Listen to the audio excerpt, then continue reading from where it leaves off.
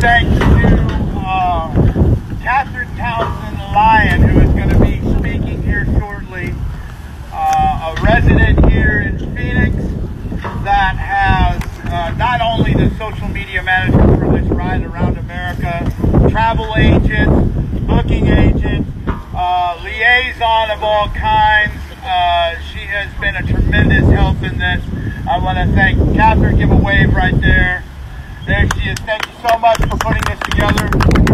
We appreciate you. Also, I want to thank the guy who flew all the way from Florida to come out here. He's the CEO and founder of No More Heroin. He has also helped uh, bring awareness to this and is helping so many people in so many ways across America. The big man himself, Higgy, right there. And also, uh, I want to thank the the rock behind this for me, the one that, that bears the blunt of all the the uh, craziness that goes on in my life, that knows everything that uh, she knows everything. It's been going on through me on this on this. She's been my rock. She's my ride or die, my 100. My beautiful wife Marty, right there for just helping put all this. Love you, Marty. And then we have some special guests that are going to come up and speak, and they're going to share their stories, and they're going to encourage, they're going to empower, and they're going to make a difference right now. Um, and first we have coming up, uh, this guy is absolutely amazing. Um, he has uh, he has written an international best-selling book. It's his memoir about um, the hiding of his addiction and how he worked through it and where he's at today. He is the he is a celebrity sports agent. He is connected ridiculously in the recovery community. Uh, he is a powerhouse. He's out here traveling all over, not just the United States, but all over the world, helping bring awareness to the epidemic of addiction and also speaking life into others. I want to introduce our first speaker, Mr. Darren Prince. Yo, dude!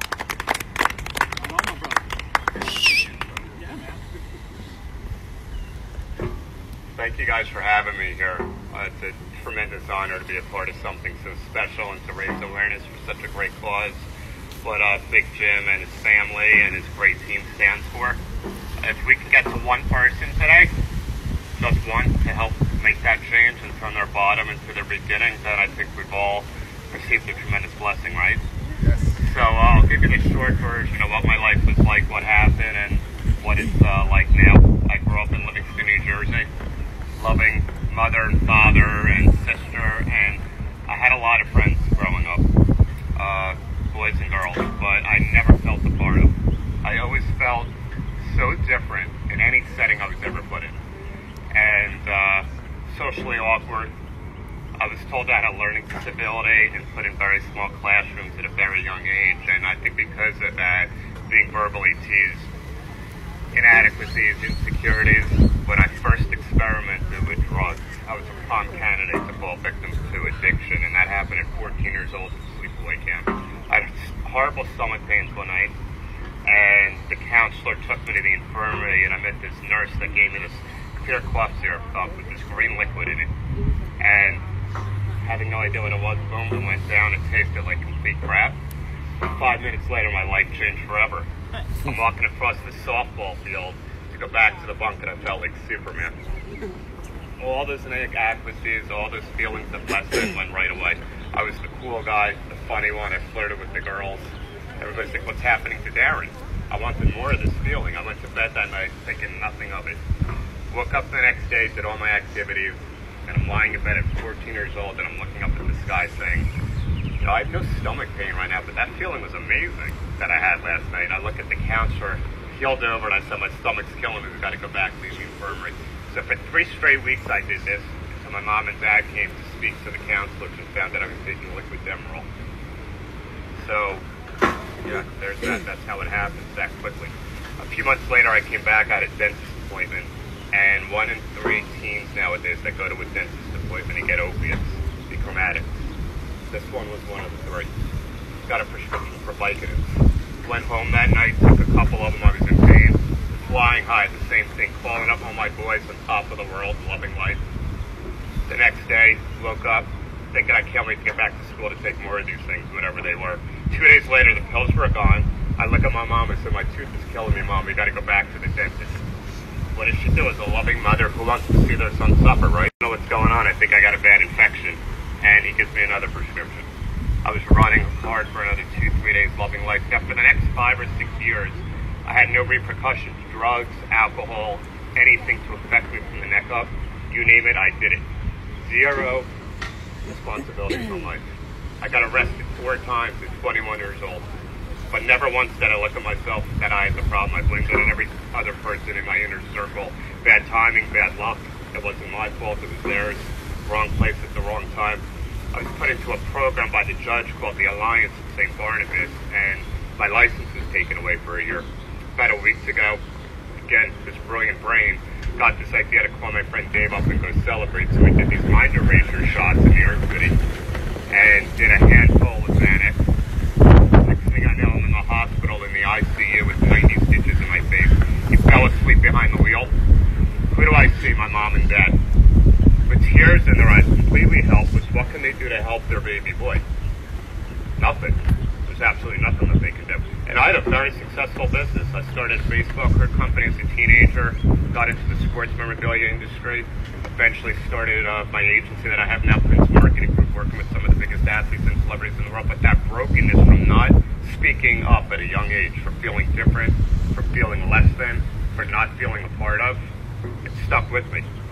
So when I started the agency, I had these morality clauses, and Magic Johnson was my first client. I said, I'm going to get smart. No more illegal drugs. But the pressure to perform at the highest level in my industry for the talent that I represented, plus sciatica and a lot of physical ailments, I found a way to play that to the hill. Went to some of the best doctors that gave me all the prescriptions I needed. You know, for five or six years it worked. I do tell people that, but at some point, what was living to use turned out to using to live. I was beyond the point of desperation. So sick and tired and desperate, I didn't know what the hell to do with myself.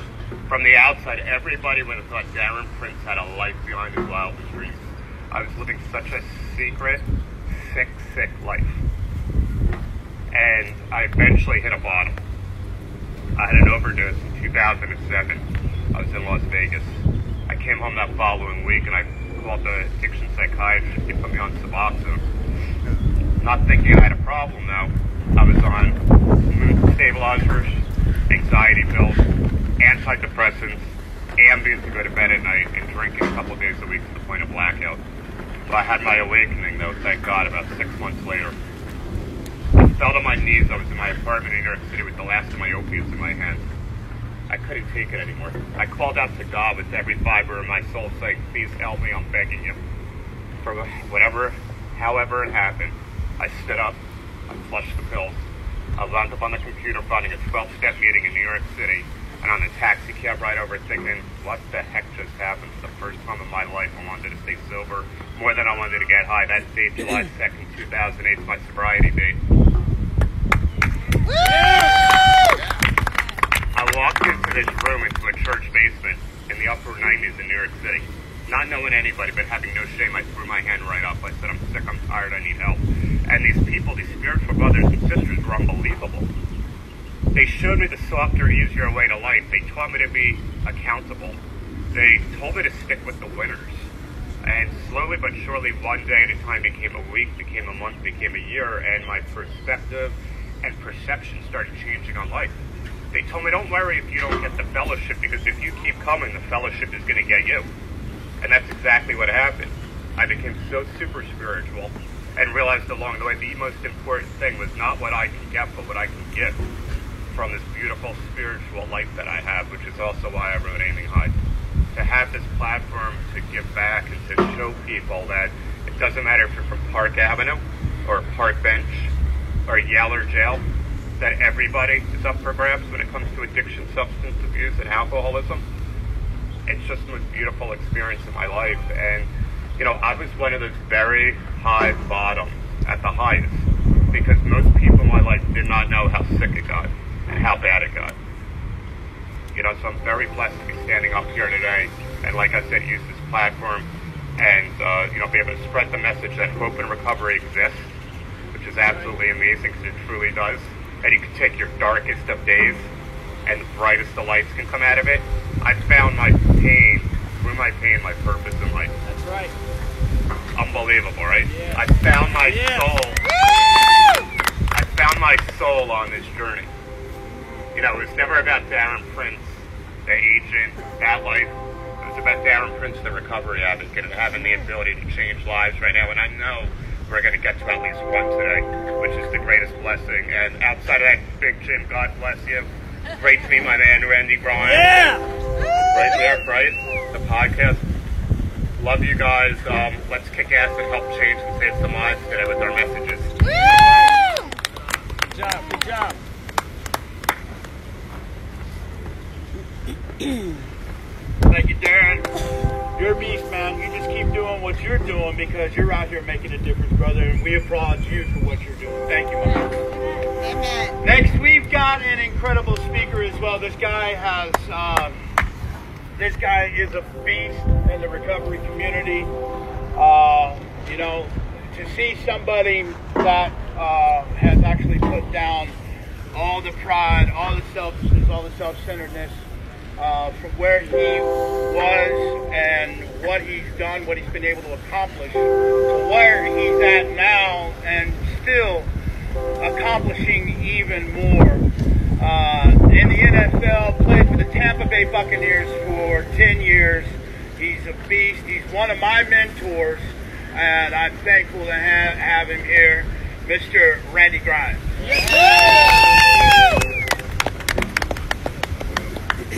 I'm so grateful to be here today, not only to meet some new friends and meet you guys and and, and be around people, like-minded people, but also to celebrate a guy who God has laid a mission on his heart. And he's fulfilling that mission right in front of us, right across America in front of everybody. So I celebrate you.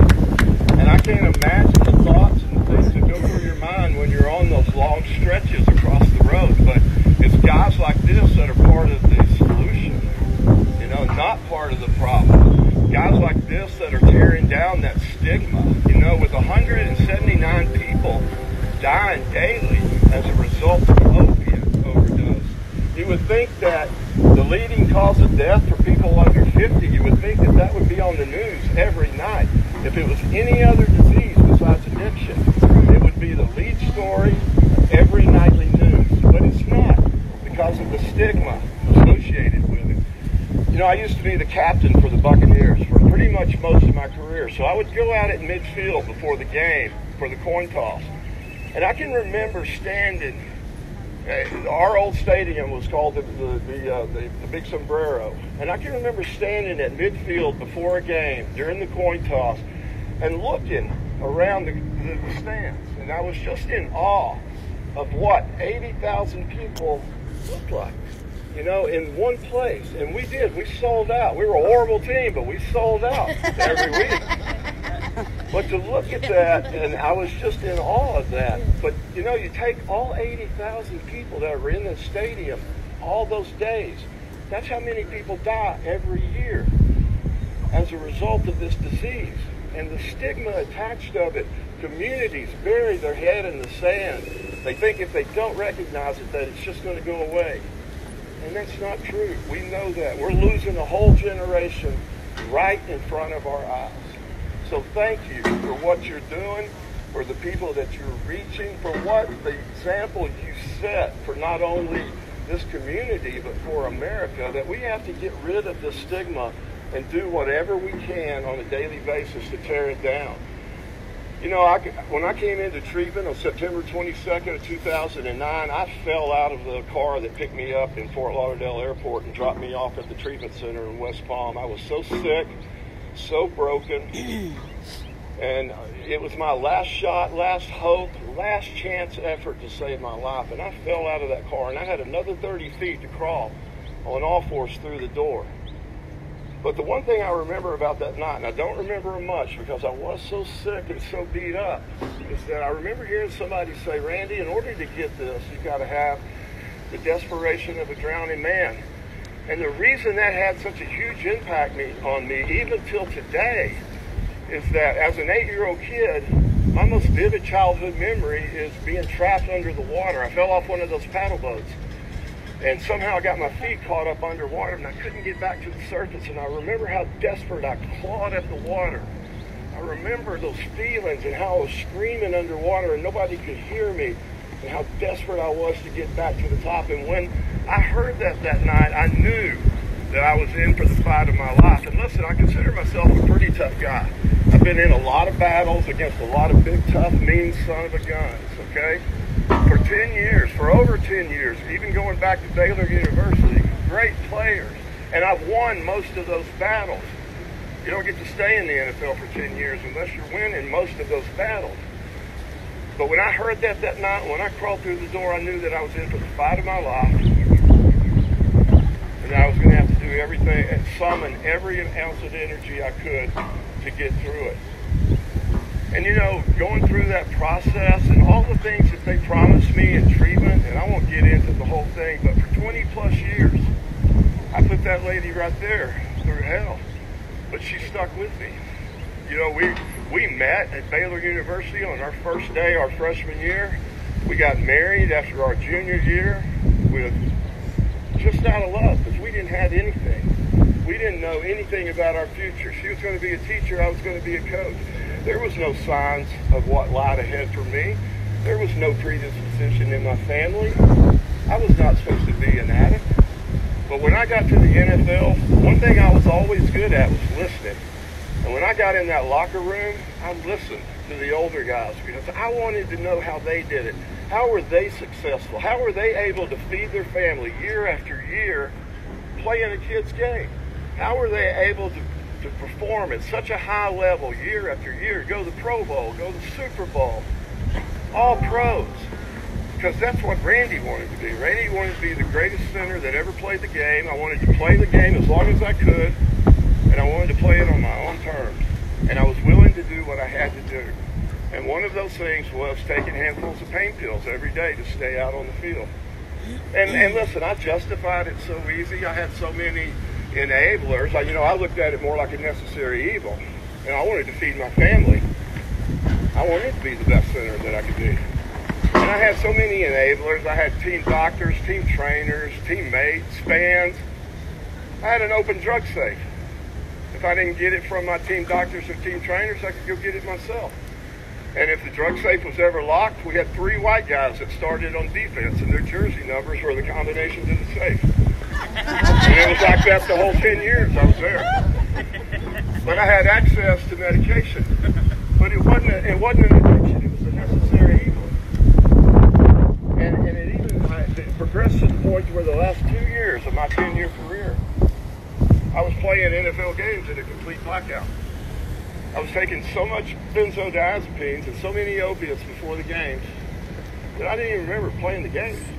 I would be home at night, 10 o'clock at night after a 1 o'clock NFL football game that I just played 75 offensive plays in, every play at center, and I didn't remember a single down. I'd be beat up, bruised, scratched, dehydrated, fingernails all tore up, all the things that you are after an NFL football game, and I didn't remember a single down. But that was the progression of this disease. In the last two years of my career, I played in a complete blackout. You know, I've always, that's always been, other than the misery and the pain that I put my family through, that's one of the biggest things I'm ashamed of because God always put me in the right place at the right time around the right people doing the right thing my whole career. High school, Baylor, NFL, second round pick, all that. And it was like, all right, I'm, paying you back by playing the last two years of my career in a blackout. As grateful, as grateful as I am in this great opportunity, but that's the progression of this disease. This was not supposed to happen to Randy Grimes. He didn't fit the profile. Well, yeah, I do. Yeah, I did. And for the next 20 plus years, when Sam Wyche put his hand on my shoulder and said, Randy, your services won't be needed anymore, guys, I didn't know who I was anymore. When I didn't have football, I didn't know who I was. I didn't know how to be a father, a husband, a neighbor, an employee, because that was stripped from me and that was my identity, and that's my fault. I let football become who I was instead of something that I did. And the reason I bring that up is because that fueled my addiction for many years. It wasn't just about the pain and the injuries. They were just getting worse the older I was getting. My tolerance was just getting higher, so I needed more and more. It was about not knowing who I was, no identity, no self-worth. And for years and years, having great jobs and losing them, having great houses and losing them, having great cars and relationships and losing them. I couldn't stop. I couldn't stop the madness. That was the progression. Big top Randy Grimes, Mr. All Pro, Mr. Pro Bowler, Mr. 1988 NFL Man of the Year, Mr. College All American, laying in the floor of, a, of an empty house. And that's the progression of where this disease took me. So, September 22nd, 2009, I mean, that's the greatest day. Really, that's the greatest day of my life. Other than my wedding, the birth of my kids. I mean, that's, that was my resurrection when I crawled through the door that night. I am so grateful for the things that recovery promised me and delivered. But not only that, not only that, the great people. You know, people ask me all the time, what do you miss most about football? And it's not slamming open those metal doors and, and the sound of cleats on the asphalt running down those dark tunnels out onto the field with all the pyrotechnics and the, and smoke and the glitter and the screaming, the lights. It's not that. It's the locker room. I miss the locker room. I miss those guys, and that's what recovery has given me back. Is that community?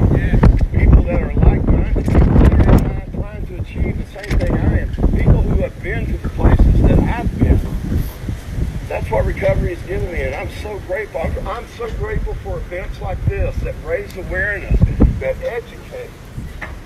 This is such a beautiful thing, guys.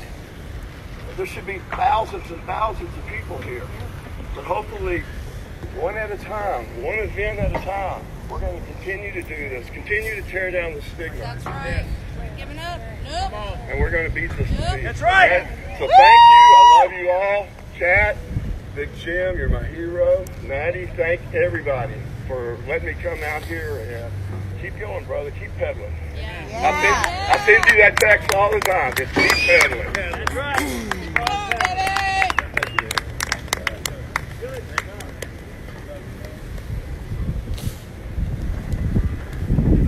Beast up here, he's throwing microphones around, all that kind of stuff.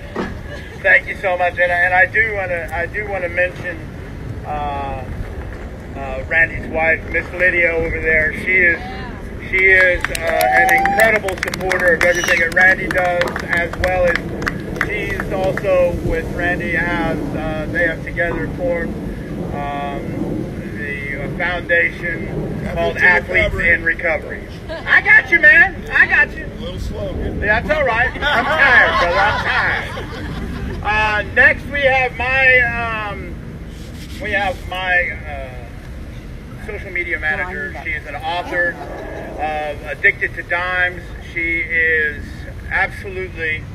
Uh, I, she is amazing on this ride and everything that she's doing, but she is a recovery advocate at all times on all levels. And she brings a different approach, a different look at addiction, not just through drugs and alcohol, but through gambling. And uh, she is absolutely amazing. So let me get Catherine Townsend Lyon up here and let her share her story as well. Come on. Yeah. Thank you so much.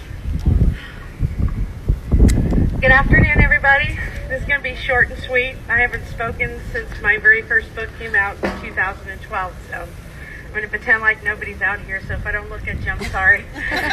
I'm mm-hmm. dually diagnosed. I suffer mental health issues, and I am 12 years in recovery from gambling addiction. Yay! And I'm here to recover alone for the first time. Um, You have a triple diagnosis? no, not yet, but I'm sure I'll get there. I wrote a little book called Addicted to Dimes Confessions of a Liar and a Cheat. Came out right at my 50th birthday. I'm recovering from an addiction that requires no substance, requires no liquids, requires no pills, no needles, no smoke. But one in five will attempt suicide, like I did. Twice. So I'm grateful to be here today. And with my husband, Big Tom. 2.9% of problem gamblers right now in the world. Problem gamblers, 2.9% of people in this whole world are problem gamblers. It took away my house, it took away my car, it almost took away my marriage. I can't tell you how many times I would my husband would have to go look for me because I would get up the first thing in the morning. I was so obsessed that I had to go gamble. And I was gambling two, three, four times a day, not realizing that I was ruining my financial future, my retirement, my my everything. I ended up in a crisis center in 2002 from my first suicide attempt. I don't remember being transported to the hospital. I had cuts all over my arms. The police told me they came into my living room and there's knives everywhere. And I was blacking out. Uh, a gambling addiction really messes with your chemicals. We get the same euphoric high and rush um, as a drug addict or an alcoholic. Um, I am a childhood sex abuse survivor, and um, that is the why. Those are the roots. I had stuffed that those those those painful feelings for so long until they came back haunting me. Yes. All I know is I'm just I'm I'm a grateful recovering pathological gambler. Um, I I really I, I, just I don't know what what else to say. I'll I'll I'll, I'll just say I close with um, gambling addiction. The venues, the options need to stop expanding. State lotteries, um, casinos, Indian casinos. The more expansion is going to be more addicted gamblers. And um, I'm nervous, so I'm sorry. Um, I'm just proud to be here today. Um, I, I thank Big Jim for doing this and for helping raise awareness about addicted gambling and problem gambling. Um, I will stay with you 100% until this ride is done. Um, that's it. That's all I got to say. I'm sorry. I appreciate it. Thank you.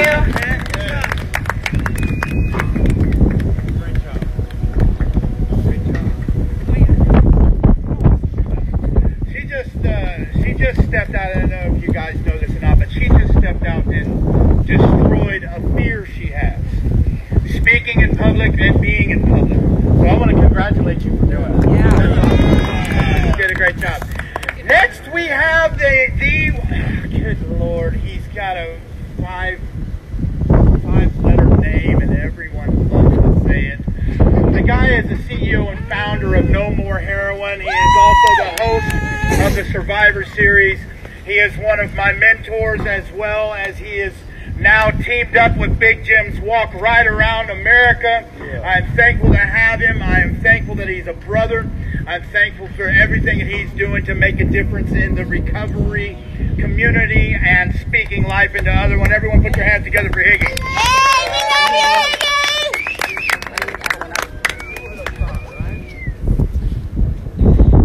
Hi everybody, my name is Higgy. Hi, Before I was Higgy, I was Robin Higginbotham from Hicksville, Ohio. You know, just a small town boy. I, I stumbled upon drugs at a very, very young age, at the age of 12. Uh, I was raised in a very turbulent environment. A, there's a lot of violence, a lot, lot of mental uh, and physical abuse going on. And, and I started experimenting with drugs at, at the age of 12, and, and it quickly, quickly spiraled out of control because once I took that very first drink, it gave me the ah that I was looking for, you know, and that that sense of relief was what I was looking for. That sense of peace and calm in the beginning was what I was looking for. It gave me a place to fit in, you know. It gave me the ability to, to get in where I fit in, and fitting in with people that were doing the wrong things was, was what I was attracted to. I, I, uh, I was a rebel, you know, and I, I had the ability to do and be much more than what I what I was was at that time. You know, I had a very high IQ, did well in school when I applied myself, but drugs and alcohol throughout the years have taken me out of every positive advance in life. You know, I, I've I've been to prison because of my drug addiction. I've been homeless. I, I, I was homeless in, in Phoenix, Arizona from, from 1994 to 2002. So I came back here to support my brother Big Jim, but it's also an opportunity for me to reconcile the past with the present. And, I, and I'm here to, to be a representative of what recovery can do for anyone out there that's willing to you know, apply it to their lives and live by spiritual principles. I, I, I'm the product of a 12 step fellowship and a loving support network and, and the grace and mercy of, of, of a loving God. And I'm so, so grateful to have the opportunity to reach people through my, my, my platform of No More Heroin. I am the CEO of No More Heroin.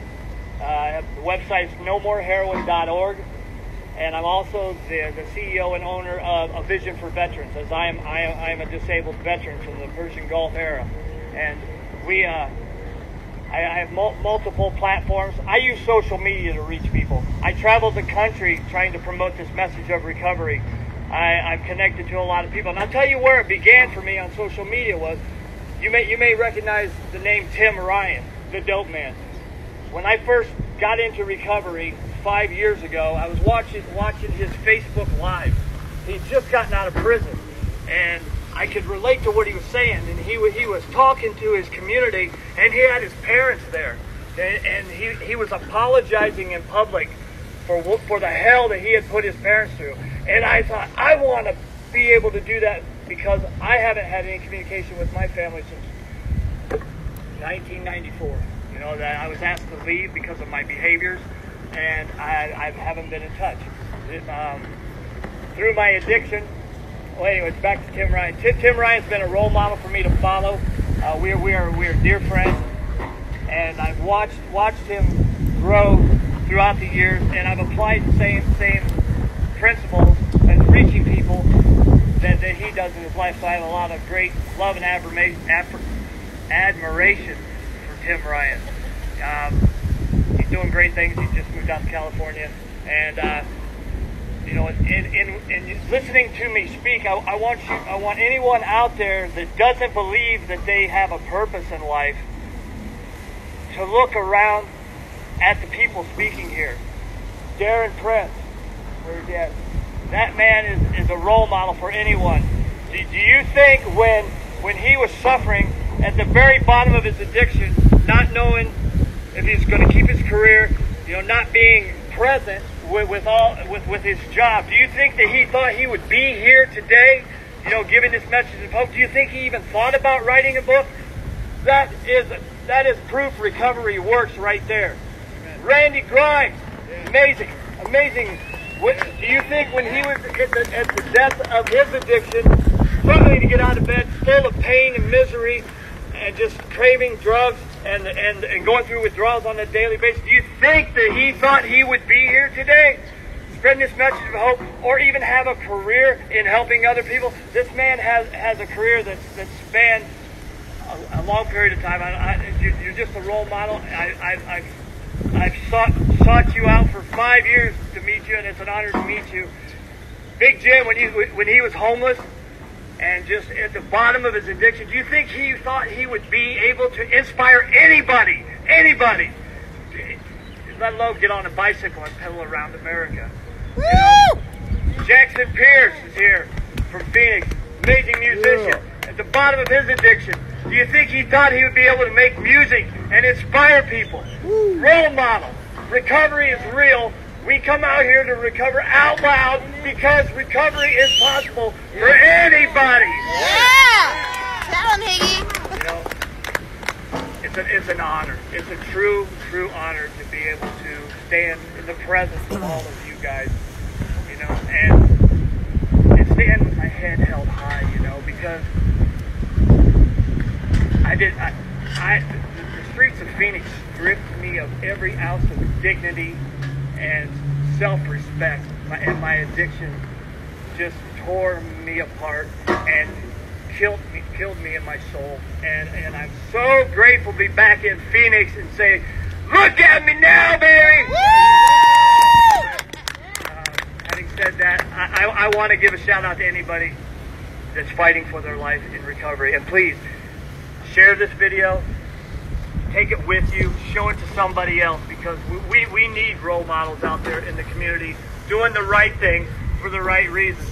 And again, I'm Higgy, and I invite you to check out No More Heroin on Facebook and tune into the Survivor Series because the Survivor Series showcases inspirational testimonies from people that have overcome seemingly insurmountable odds, like all of us here today. Yeah! From all walks of life, you know, it doesn't matter how far down you are, you can pick yourself back up with a loving support system, a loving God, a program of recovery, and I'm glad to be here. My name is Higgy, and I love you all. Peace. Love you, Higgy!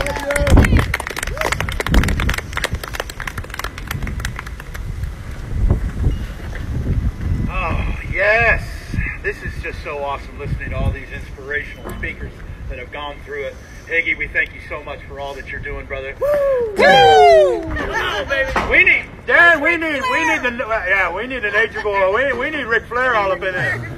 Woo! Hey, all right, uh, next, uh, you guys are going to hear a very powerful uh, testimony from a very powerful woman. Uh, she's the most beautiful woman here. I'm sorry, I'm kind of uh, partial, and she is absolutely amazing, and she's she's the one that inspires me and pushes me, and and when I'm down, she she lifts me up, she makes a, an impact in my life every day. Uh, she is a survivor of uh, she's a survivor of addiction. She's a survivor of kidnapping. She's, she was sold into the uh, sex trafficking. She was sold as a slave. She escaped. She raised five children single. She is an amazing, strong woman that is a true survivor. My beautiful wife, Marisol.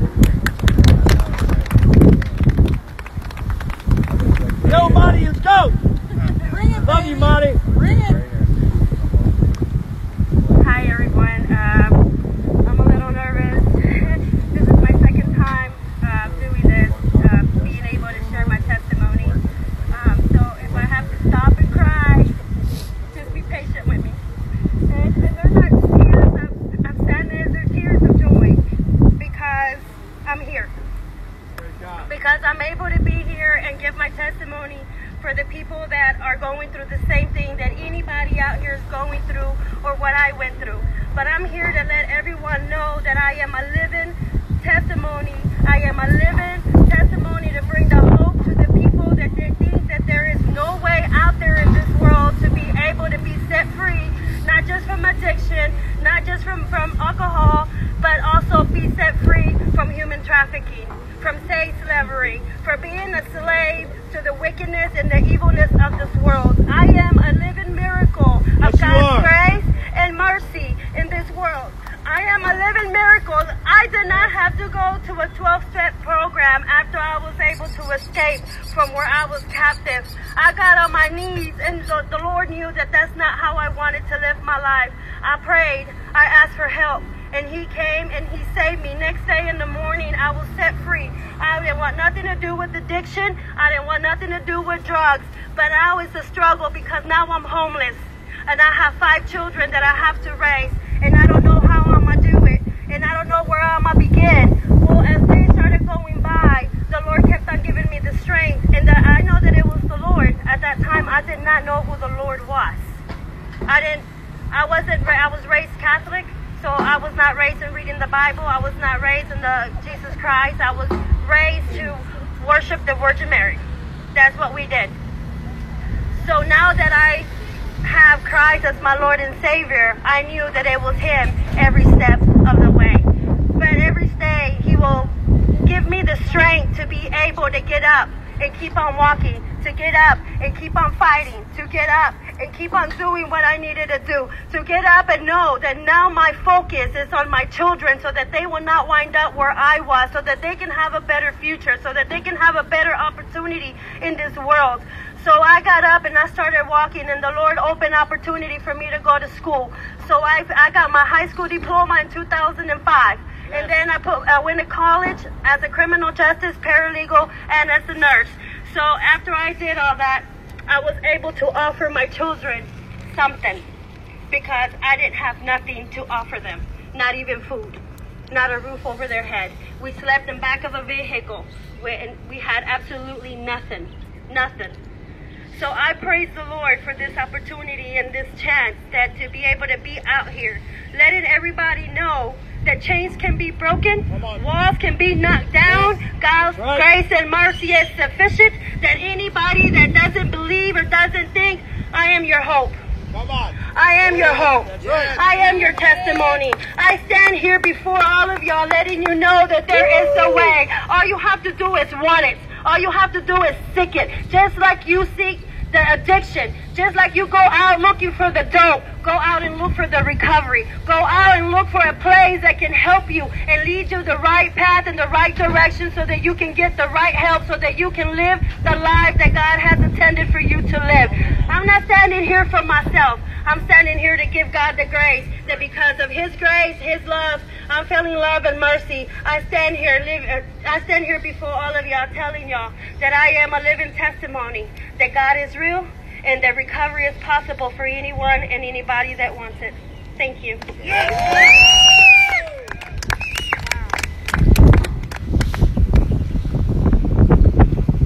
Wow, that's amazing right there.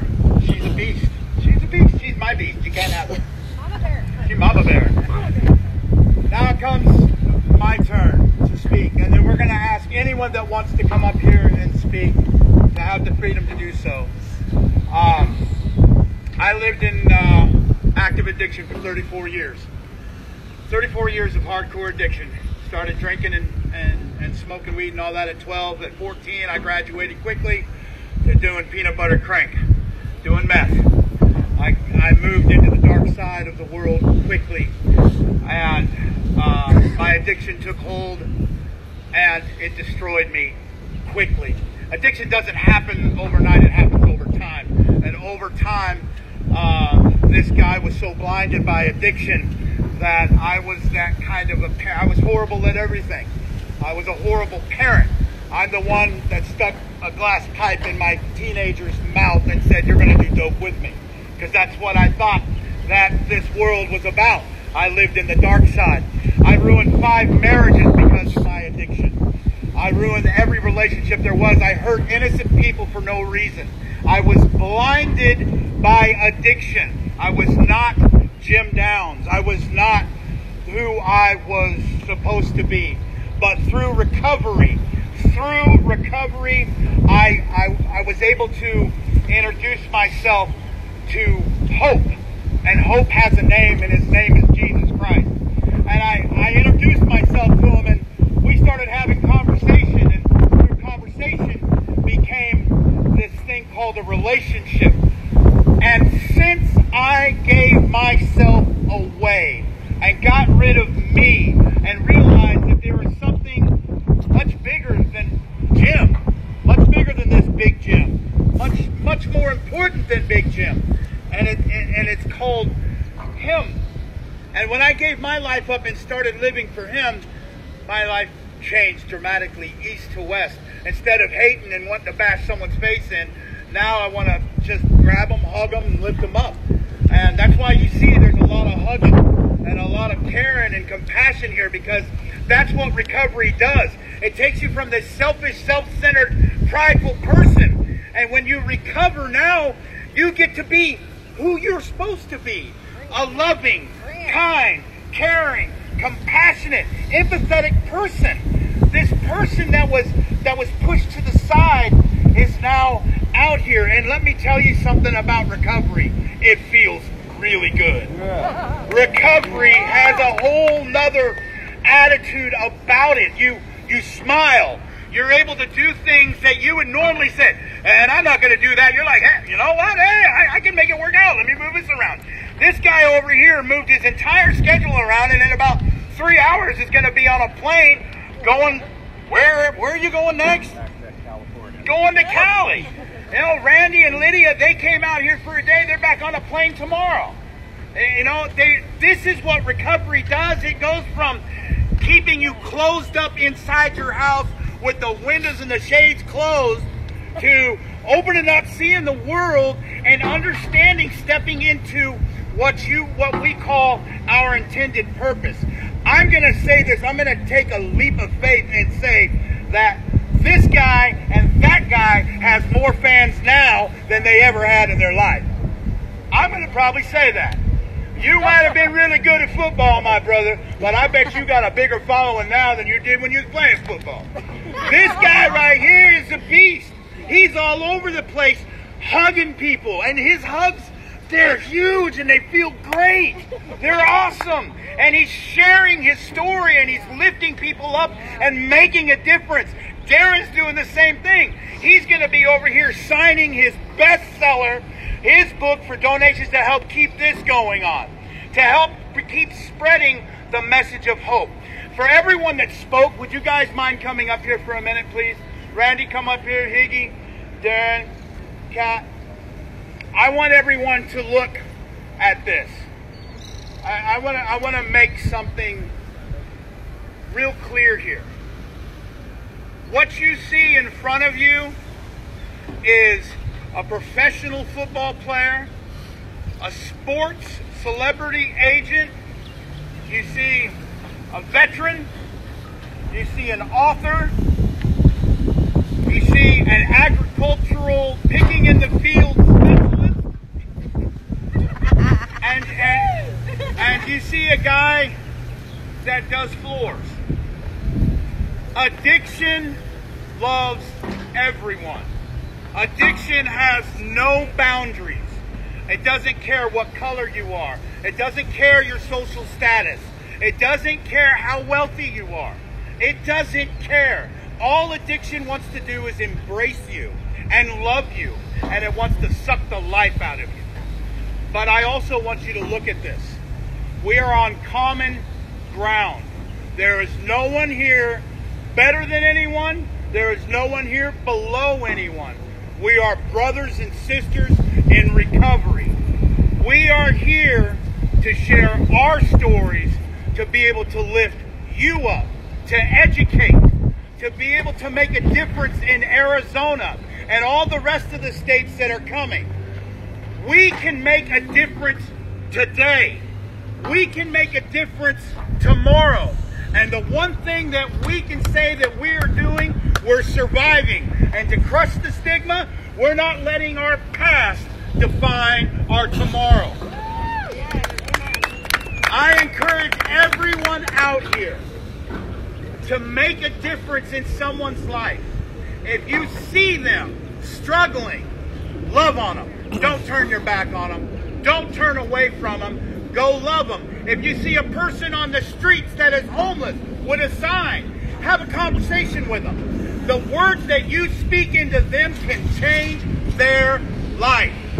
You have an opportunity, everyone here and everyone out there in Facebook land and everyone here in Arizona has an opportunity to be able to change lives for the good. I pray that today is a miraculous day. It does just that. And it shows an example of incredible people coming together to make a difference right now. So we thank every one of you for coming out. We want everyone to come up. We want everyone to follow the ride. We want everyone to encourage other states to do exactly this. And we want everyone to make a difference in someone's life. Thank you all for coming out here. We're going to start signing books. They're $20 a book. Come up here, get a book, make a difference. Randy's going to be signing football. Yes, you are. and we thank everyone so much. We're gonna-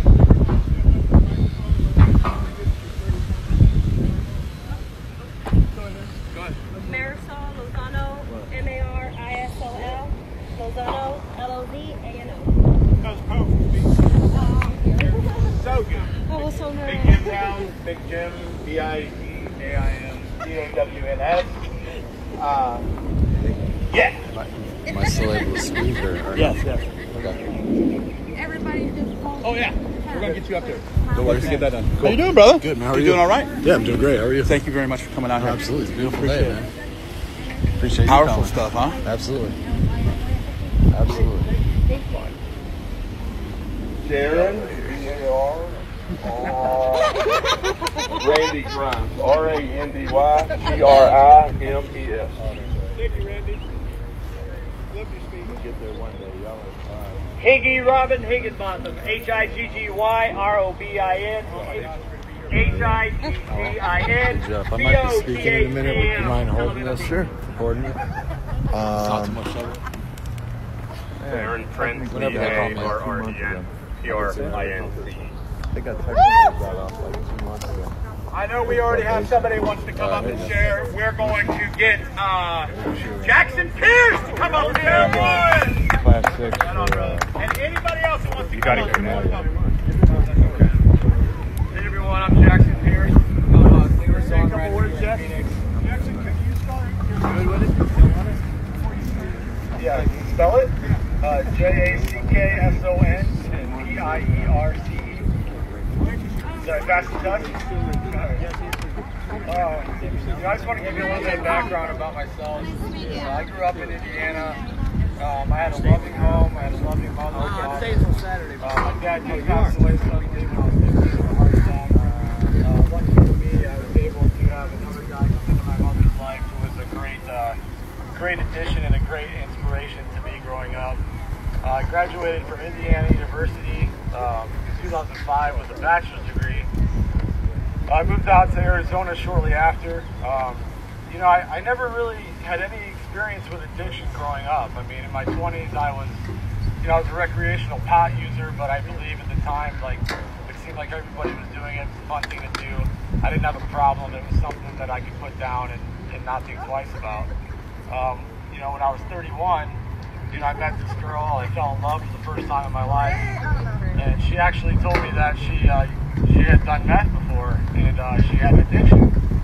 And at the time, I told her that you know if you ever that again, you know, about a month or two in the relationship, you know, I, I can't be with you. I'll have to walk away. And a couple months later, I'm putting the pipe in my mouth with her. Um, you know, I turned out to be pretty pretty, pretty big hypocrite, I guess. Um, so shortly after, you know, I got addicted to the euphoria. Um, before I know it, I was, you know, I was a rising star at Enterprise Rent a Car at the time. I was making almost six figures, and I, I got to the point where, um, you know, I can relate to what Randy said about, you know, playing a, an NFL game in a blackout. I mean, I was running a, a 300 car branch that I was at 12 hours a day. You know, I had made made accounts like Honda. You know, I had all these employees to manage, and I, I was high, higher than I could can even talk about right now. And that's something that, you know, is always going to stick with me. But shortly after, you know, I lost my job. You know, they came in, gave me a random drug test, and I'm out the door. Um, lucky for me, I recovered from that. You know, I got a job at GoDaddy. I was doing really well there. I was making almost six figures, and I violated probation for testing positive on these random drug tests that I didn't think were going to come up, even though I knew they were going to come up. Um, so I lost my job at GoDaddy because I had to go serve two months in jail for a deferred sentence that I wasn't expecting. Um, I'm one of those people that always tries to stay positive about everything, and you know, one of my songs I say sometimes the worst days are the best days of your life. And for me, you know, I didn't start writing or recording music until about two years ago. Um, I was deep in my addiction. I was going through some relationship troubles, and I was alone. And for me, it was a therapeutic outlet where I could, you know, I could, I could say whatever I wanted at no discretion. And you know, at the same time, I didn't realize that you know my family and that saw this, they knew I was under the influence and they knew something was wrong. So it really was a cry for help that saved my life. And um, you know, here I am, you know, a couple of years later. You know, I my music has become an inspiration to people, and it's very humbling to me that my my terrible experience has become something that people find uh, strength, hope, and, and encouragement through. And um, I'm just very grateful that uh, that Kat and Higgy asked me to speak. I'm grateful for what you're doing, uh, bringing awareness to all 48 states. I think that's amazing. Uh, that's more amazing than anything I could ever do for the community. Um, but I just want to thank you guys for having me here and just fighting this fight with me.